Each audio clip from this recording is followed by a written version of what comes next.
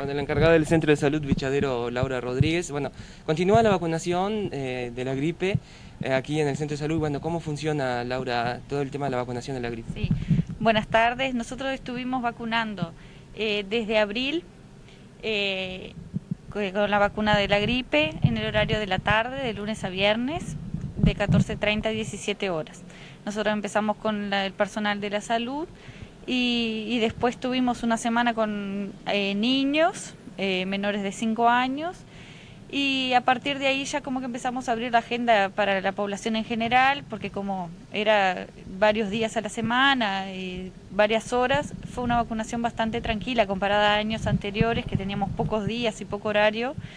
Eh, la campaña de la gripe de este año tuvo bien tranquila y nosotros ahora estamos por finalizar la campaña el 30 de junio, terminamos la campaña y hasta la fecha de hoy, 23 de junio, llevamos 1.200 vacunados. Sí, un buen número de personas que se han vacunado también eh, para la gripe.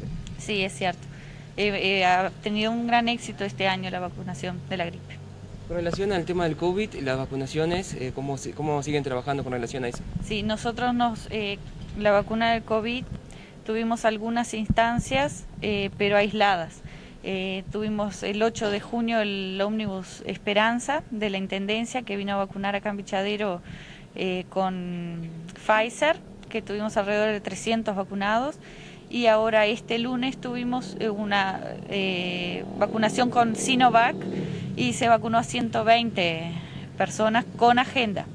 Eh, a personas que les llegaron la fecha y, vacunamos. Y ahora para el mes de julio lo que se tiene programado hasta ahora es segunda dosis de la AstraZeneca, que se vacunó, si no me equivoco, en mayo, eh, no, en abril fue, y la segunda dosis es ahora el 15 de julio. Eh, después la segunda dosis de la, del bus Esperanza con Pfizer el 27 de julio y el 29 de julio, si no me equivoco, la segunda dosis del, de ahora del 21 que se vacunó. Sí. Con relación también se, bueno, se habla con relación a la vacunación a menores de edad, o sea, de 12 a 17 años. Eh, ¿Se está trabajando en eso? ¿Hay una fecha definida? ¿Cómo, cómo, ¿Cómo trabajan con relación a eso? Nosotros la información que tenemos es la que tienen todos, que ya se abrieron las agendas. Lo que sí no se abrió la agenda todavía para la localidad de Bichadero. Eh, que yo tengo entendido se abrió para Corrales y Rivera, todavía Bichadero no, pero eh, bueno, invito a todos los que puedan concurrir a, Rivera que ya pueden ir agendando para, para ir a Rivera a vacunarse. Pero seguramente vamos a tener acá, pero no tenemos ninguna información todavía. O sea, no hay nada previo. No, ninguna programación. Lo que tenemos es eso de la segunda dosis. Pero en cualquier momento se puede, puede surgir. Esa población recibiría la, la de Pfizer, ¿no? No sé decirte eso, nosotros siempre nos enteramos en, el día que nos avisan que hay vacunación, qué vacuna nos van a mandar y tal, pero supongo que sí, que puede ser Pfizer, sí.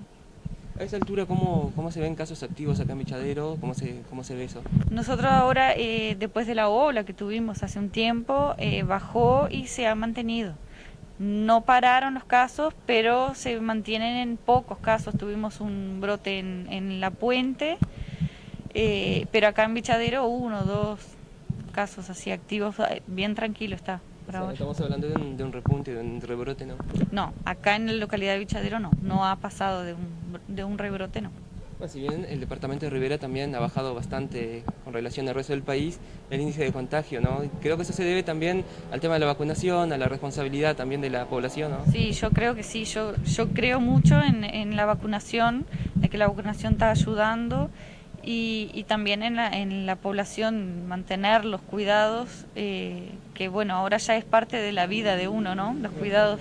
Entonces, eh, sí, creo que esas dos cosas está ayudando a que esté bajando y espero que siga así.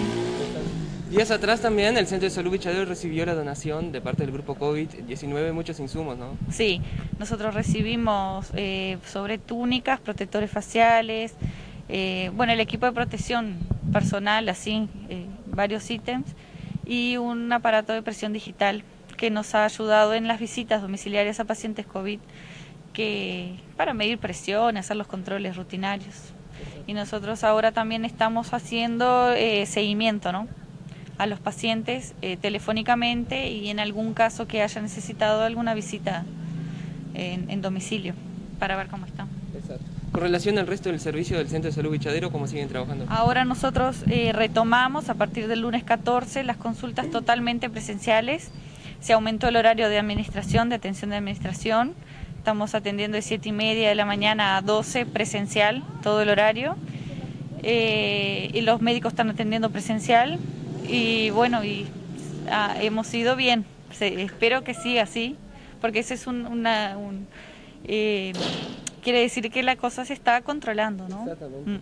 ¿Con qué médicos cuenta ahora el Centro de Salud Bichadero contando que se jubiló el doctor Jiménez de Arechaga? bueno, ¿con qué médicos cuenta ahora? Tuvimos la jubilación del doctor Jiménez de Arechaga y por el momento estamos con la doctora Rovira y el doctor Balati en Medicina General y bueno, eh, la odontóloga Fabiana Campos, después tenemos especialistas pediatra, el doctor Cáceres, eh, estamos con nutricionista, eh, ginecóloga, todos son especialistas que vienen cada 15 días o una vez por mes desde Rivera, el oftalmólogo.